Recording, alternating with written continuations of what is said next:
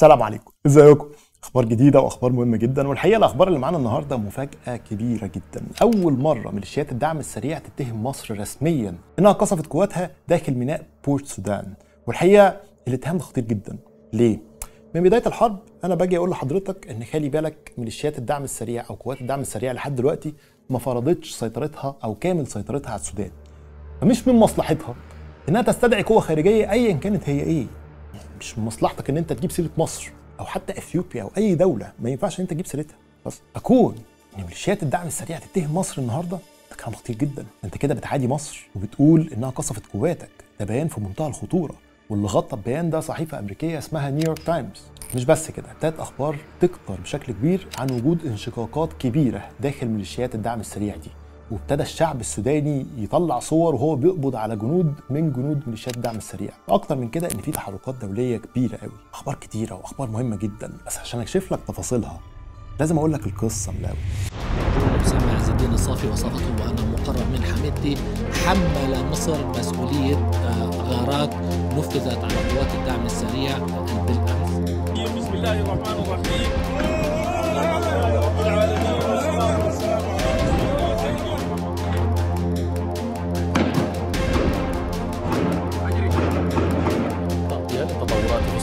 حيث قال المتحدث باسم الجيش السوداني إن القوات المسلحة استولت على جميع مقرات قوات الدعم السريع في أم درمان بكامل عتادها وآلياتها وأسلحتها التي خلفها المتمردون وراءهم أثناء هروبهم من هذه المواقع.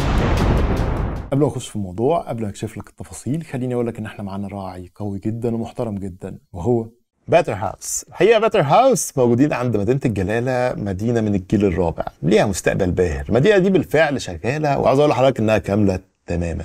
جاهزة على السكن كمان. المدينة دي موجود فيها منتجع اسمه فيدالا تابع ل Better House. المنتجع ده مميز جدا على ارتفاع 750 فوق سطح البحر. هي منتجع مبني على مساحة 18% فقط.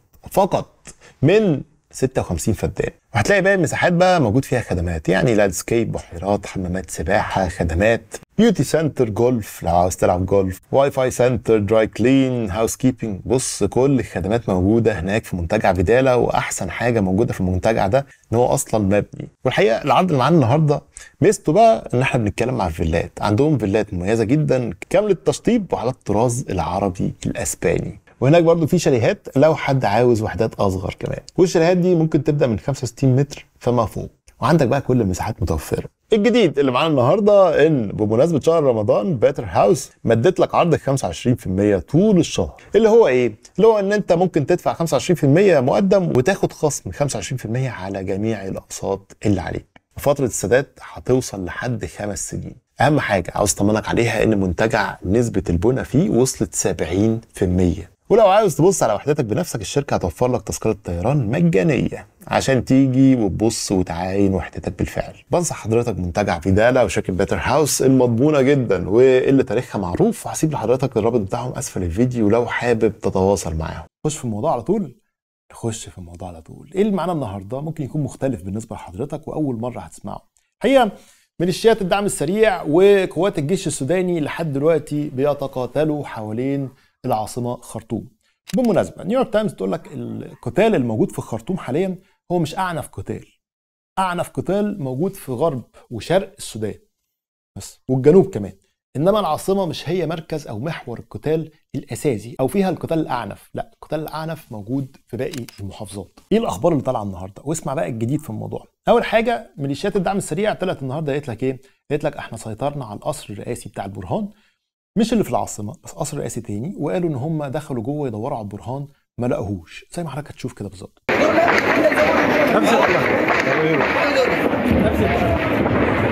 شوف يا جماعة الحديد البراد المصفح حق البرهان. يا أهلنا الأخوة المساكين إحنا قاعدين رايقين في التراب. ناس البرهان راكبين الحديد المصفح. ده تحول كبير إن خلي بالك القصور الرئاسية بتبقى محمية بحرس كبير جدا. فكون إن ميليشيات الدعم السريع تخش تحصل على القصر الرئاسي ده تطور هام.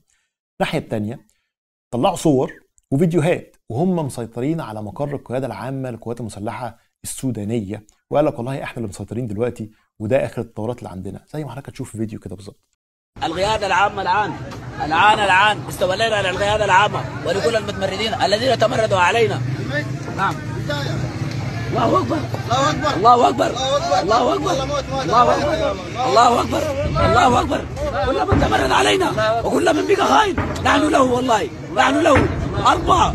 وبعد كده قعدوا يطلعوا كمية أخبار إن هم بيسيطروا على مباني كتيرة جدا. مسيطرين على مطار الخرطوم مسيطرين على قاعدة مروي آه، مقر الإذاعة والتلفزيون. كل ده هم عمالين يقولوا إن هم مسيطرين عليه. بس هل الكلام ده صادق ولا مش صادق؟ والله بص ما تصدقش. ده إحنا بص إحنا ماشيين بمثل إيه؟ ما تصدقش حاجة. في وقت الحرب محدش هيقول لك الحقيقة.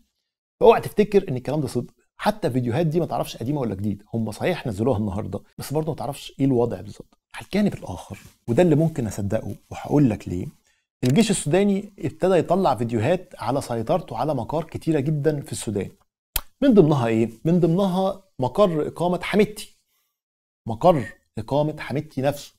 سيطروا عليه. وقال لك إن إحنا ما لقيناهوش بس إحنا سيطرنا عليه. سيطروا على أكتر من قاعدة لميليشيات الدعم السريع وابتدوا يخشوا القواعد دي ويسيطروا عليها بشكل كبير. وهنا أنا بقول لك مش قاعدة واحدة أو قاعدتين لأ كذا قاعدة ابتدت القوات السودانية تسيطر عليها. التفتيش على فلول الدعم السريع تمكنت قيادة الفرقة 18 مشاة من الاستيلاء على أكبر من الاستيلاء على مغرات الدعم السريع بولاية النيل الأبيض. الله أكبر. الله أكبر. في نفس الوقت تم النهارده صدور فيديو إن تم اعتقال شقيق حميدتي. أخوه يعني. قبضوا عليه النهارده وأظهروا صور مش متأكد مش صحتها قوي بس ممكن تبص عليها. أظهروا صور وفيديوهات وقال لك ده شقيق حميدتي. في نفس الوقت حصلت كمية انشقاقات كبيرة. داخل ميليشيات الدعم السريع. من ضمنها إيه؟ من ضمنها رئيس المخابرات الخاصة بميليشيات الدعم السريع انضم للجيش. بلاش. المتحدث العسكري اللي بينطق وبيذيع بيانات ميليشيات الدعم السريع انضم للجيش. عدد كبير من قوات الدعم السريع استسلم لقوات الجيش السوداني. بدءا لقد استجبت بتنفيذ أوامر القوات المسلحة منتدبا بقوات الدعم السريع في واجب وطني. والآن أستجيب بتنفيذ أوامر القائد العام للقوات المسلحة الذي أصدره ليلة أمس بإنهاء انتداب ضباط القوات المسلحة بالدعم السريع. طيب ليه ممكن تصدق ده وما تصدقش ميليشيات الدعم السريع أو تميل لده أو تنصت ليه؟ لسبب بسيط إن الوقت في صالح الجيش. الوقت في السودان كل ما يمشي ويعدي في صالح الجيش السوداني مش في صالح ميليشيات الدعم السريع. ليه؟ لأن خلي بالك ميليشيات الدعم السريع عملت حشد كبير جدا جدا قبل ما تقوم بمحاولة الانقلاب بتاعها. فتقدر تقول إنها حشدت جميع قوتها أو 90% أو 70% من قواتها بتشارك في القتال حاليا. إنما الجيش هو اللي اتاخد على غفلة. والجيش التعداد بتاعه قوات عاملة 100000 وقوات غير عاملة 100000 برضه يعني بتتكلم على 200000 وشوية. فكل ما الوقت يعدي الجيش هيعرف يعمل تعبئة ويجيب قوات جديدة ويسيطر على مقار جديدة ويعرف يتولى زمام الأمور. ده حاجة. تاني حاجة الأسلحة التقيلة وسلاح الطيران في إيد الجيش مش في إيد الميليشيات. تالت حاجة لازم تعرف حاجة كويسة جدا ومهمة جدا إن ميليشيات الدعم السريع ما عرفتش تطبق الخناق أو تعمل الانقلاب بتاعها بشكل كامل. ما حصلش. لحد دلوقتي في بعض المقار مش عارفين يسيطروا عليها. ده اللي أدى إن الوقت يكون في صالح الجيش إن هو يستعيد قوته ويستعيد زمام المبادرة من جديد. والدليل على ده إن تم النهارده ظهور فيديو وبرضو أنا أنا بخلي مسؤوليتي من الفيديوهات دي لأن الفيديوهات دي ممكن يكون فيها معدل خطأ ومعدل صواب بس هي الناس اللي بتبعتها لنا أنا بعرضها لحضرتك عشان تشوف إيه اللي بيحصل بالظبط. ظهر فيديوهات لقوات المظلات في الجيش السوداني وقالت إنها على هبة الاستعداد للمشاركة في الحرب. معنى كده إن الوقت لما يعدي في قوات جديدة تبتدي تخش الحرب دي وتنضم للجيش السوداني وتهدي الوضع تماما. بس حد هنا الكلام ما فيهوش مشكلة. آه، الحرب شغالة وعاوز أقول لك نيويورك تايمز النهارده بتفرج عن صور وتقول لك على فكرة السودان أصبحت كتلة نار أو الدخان طالع فيها من كل حتة. في أغلب الأوقات لما كان بيحصل عمليات انقلاب كانت بتبقى بعيد شوية عن بهدلة العاصمة. يعني العاصمة ما بتتبهدلش جامد بس عشان آه، الناس تمسك الحكم. ولما يكون في حركات عسكرية أو قتال أو اقتتال شعبي أو داخلي بيكون بعيد عن العاصمة. لأول مرة العاصمة تتحرق. ده اللي بتقوله نيويورك تايمز لأول مرة نشوف مشهد الخرطوم إنها بتولع كده. وحرب حرب داخل الخرطوم. ده مشهد ما اتشافش من سنين. خالص. واللي بتقوله نيويورك تايمز بتقول لك إيه؟ بتقول لك الحرب دي استبعد إنها تنتهي بالسلام أو مفاوضات. إحنا دخلنا في مرحلة الحسم. الاثنين هيفرضوا أمر واقع على بعض. يا حميدتي هيفرض أمر واقع على الفتاح برهان. يا عبد الفتاح برهان هو اللي هيفرض أمر واقع على حميدتي. وهنا إحنا بنتكلم على قتل أو اعتقال ده اللي هتنتهي بيه الحرب. بس عشان كده مفيش تفاوض أو الموضوع ممكن ما يتقلبش بتفاوض قوي واللي يثبت لك إن الموضوع متاخد للنهاية إن النهارده طلع عز الدين الصافي. عز الدين الصافي ده قائد كبير جدا داخل ميليشيات الدعم السريع وطلع يتكلم لنيويورك تايمز الصحيفة الأمريكية. كلمهم بالتليفون محادثة هاتفية يعني. قال لهم إيه بقى؟ قال لهم على فكرة خلي بالكم إن مصر تدخلت وقصفت قواتنا لما رحنا نسيطر على ميناء بورت سودان. خلاص. والطيران ده كان مصري. وأنا بقول لكم الطيران ده مصري. الاتهام ده بس خلي بالك مصر ما أعلنتش رسميا إنها بعت الطيارات بتاعتها تقصف ميليشيات الدعم السريع ده اولا. مفيش أي بيان رسمي لا من السودان ولا من مصر بيأكد الواقع أصلا إن في طيران قصف القوات دي. لأن قوات الجيش السوداني تستخدم الطيارات بتاعتها في قصف ميليشيات. فمين قال لك إن ده طيران أجنبي؟ مفيش أي بيان رسمي خالص إلا إن الراجل قال كده. قال على فكرة بقى إحنا هننتقم وإحنا مش هننتقم. وقعد يقول تهديدات كبيرة جدا. للجانب المصري. ما يدل إن الوضع مع الوقت مش في صالح الناس دي. إن أنت تتكلم على قوة خارجية بالذات مصر ودي على فكرة أقوى لاعب في الحدود كلها. خلي بالك حدود آه، السودان حدود بحرية خلاص. والناحية الثانية مش بلد قوية قوي جنوبا أثيوبيا وشمالا مصر. المعادلة العسكرية كلها مصر. خلي بالك مصر علاقتها قوية جدا بالجيش السوداني. ومصر هي أكبر قوة وأقوى قوة عسكرية موجودة في المشهد حاليا خلاص. فما ينفعش تستدعيها. ده يبقى قمة الغباء. أو محاوله انتحار. الناس دي خلاص شافت إن الوقت مش في صالحها فبتحاول تتكلم على مصر وتوجه الاتهام بمصر بشكل كبير. طيب إيه موقف مصر حاليا؟ هل مصر تتدخل في المشهد بعد الاتهام اللي طلع من ميليشيات الدعم السريع دي اللي بتقول إن إحنا هننتقم وإحنا هنرد على الطيران المصري والكلام ده كله؟ هل تخش وتعمل عملية عسكرية؟ الحقيقة الأمر ده أمر مستبعد لكذا سبب. اولا لو جيت تبص على المشهد حاليا هتلاقي التحركات الرسمية المصرية بتتكلم على تهدئة. مفيش أي تهديد. حتى بعد فيديو الجنود ما طلع مفيش أي تهديد مصري رسمي خالص ما حصلش. كل اللي حصل بيانات من وزارة الخارجية المصرية وطلع آه، المبعوث آه، الخاص بمصر في جامعة الدول العربية طلع اتكلم وقال إحنا بنسعى للوساطة والنهاردة الرئيس المصري عبد الفتاح السيسي كلم سيلفا كير رئيس جنوب السودان والاثنين اتفقوا إن إحنا ممكن نلعب دور الوساطة. طب منين ميليشيات الدعم السريع بتهدد مصر؟ ومنين مصر مش عايز تدخل عسكريا؟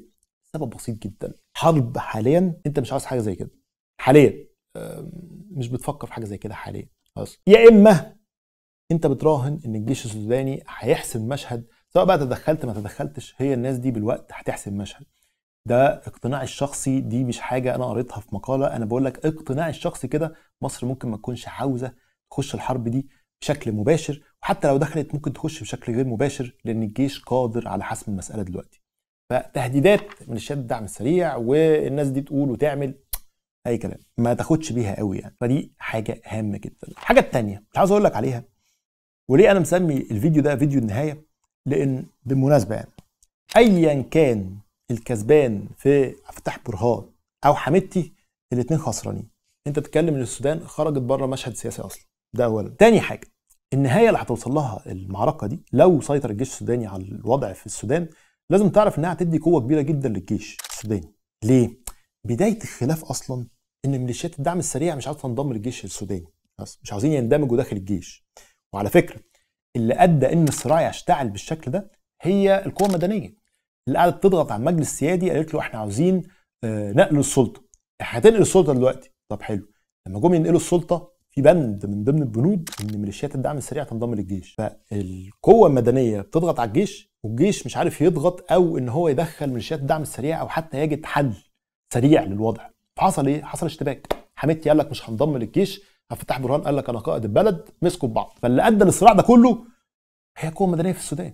اللي بتضغط عاوزين السلطة دلوقتي عاوزين السلطة دلوقتي وهم مش عارفين الصراع الداخلي اللي في الجيش اللي أدى لاشتعال الموقف بالشكل ده. ثالث حاجة اللي عاوز أقول لك عليها بقى وعشان كده أنا مصر إن أنت تسمع الحكاية دي إن السودان من أكتر البلدان الأفريقية اللي تعرضت لمحاولات انقلاب وانقلابات غير طبيعية. السودان حصل على استقلاله من مصر 2 يناير 1956 عاوز أقول لك إن في 1957 كان في محاولة انقلاب. يعني لما مصر إدت الحكم الذاتي للسودان عشان هم أشقائنا وأحبابنا أنا مش قصدي أقول كلام وحش أنا قصدي أقول لك إن هم أشقائنا يعني. بس لما خرجنا من السودان والرئيس جمال عبد الناصر إدى الحكم الذاتي للسودان ما فاتش سنة. وتعرضت الحكومة دي لمحاولة انقلاب. وكانوا مجموعة من الضباط معلش أنا بستعين بالورق عشان بس أقرأ الأحداث بالظبط لأن ده كان نازل في موقع سوداني هو اللي بيتكلم على الوقائع دي. اللي قام بالمحاولة دي 1957 هو مجموعة من الضباط كانوا عاوزين ينقلبوا على الحكومة. لكن الحركة بتاعت الضباط دي فشلت بس ما عداش سنة وقام انقلاب وانقلاب نجح. واللي قام بيه حركات دينية مين؟ عبد الرحمن المهدي وده كان زعيم الأنصار وعلي المرغني وده زعيم طائفة الختمية. بمساندة من الجيش. ثالث محاولة انقلاب إيه؟ أو ثالث انقلاب حصل. ثالث انقلاب 1969 69 شوف أنا عاوز أبص على السنين ماشية إزاي. ما بيعديش كام سنة ورا بعض تلاقي محاولة انقلاب أو انقلاب. والانقلاب ده كان من أقوى الانقلابات وأشدها لأن جيب ضابط قوي جدا. اسمه إيه اسمه جعفر محمد نميري. والراجل ده فضل حكمه ممتد. ليه؟ لأن هو كان شرس جدا. وكان ناس بتقول عليه قوي جدا في حكمه ناس بتقول عليه طاغية. اختلفت عليه الآراء بس الراجل ده فضل ماسك السودان لمدة طويلة. وتاني عاوز اكد على حضرتك التاريخ اللي جاب جعفر النمير 1969 طب 1971 اتعرض لمحاولة انقلاب. على طول ما, استنوش. اللي قام بمحاولة الانقلاب على جعفر النمير هو هاشم عطمة. بس وهاشم عطمة ده كان أصلا بيقود الانقلاب مع جعفر النمير. كان زميله. بس حاول ينقلب عليه. والمحاوله فشلت. طيب المحاولة الثانية اللي قامت على النمير كانت 1975 واللي قام بيها مقدم اسمه حسن حسين. والراجل ده اتعدم في الآخر. بس قام كده بحركة ضباط بس فشل الانقلاب بتاعه واتعدم النمير عدمه. المحاولة الثالثه اللي اتعرض ليها النمير كانت 1978 وكانت قوات من المعارضة اللي موجودة في ليبيا زحفوا من الحدود الليبية ودخلوا السودان وحاولوا إن هم ينفذوا محاولة انقلاب ضخمة جدا بس النمير أعنف مرة تصدى فيها لمحاولة انقلاب وقضى على المحاولة دي وقدر إن هو يحتفظ بحكم. النمير اتعرض لأربع محاولات انقلاب وفشلوا كلهم. الراجل ده عمره ما بيتم الانقلاب عليه وراجل كان قوي جدا.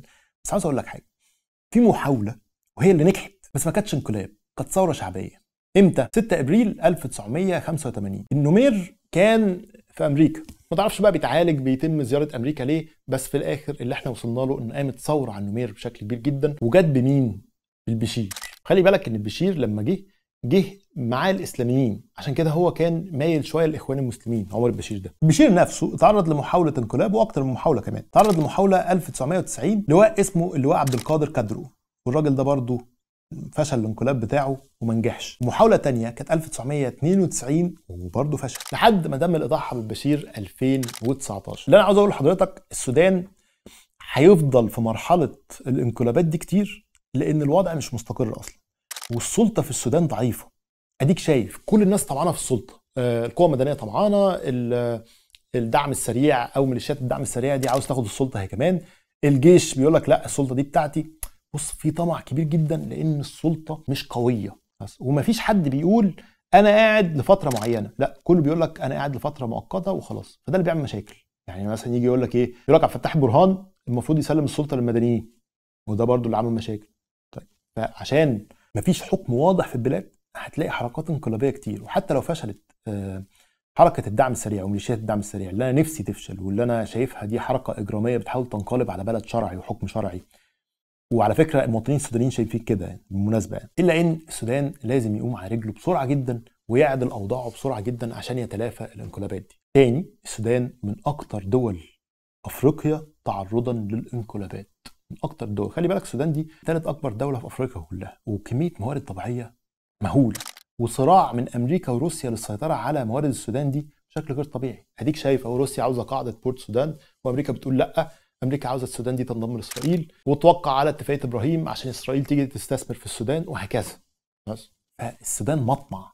فيجب على الإخوة السودانيين إن هم يبقوا حذرين جدا الأيام الجاية وإن هم ياخدوا بالهم من وطنهم. أحسن من كده ويقضوا على مشيات الدعم السريع. يا رب اكون شرحت لحضرتك الموضوع بشكل مبسط. ويا رب انصر مصر رب انصر العرب. تحيا مصر. سلام.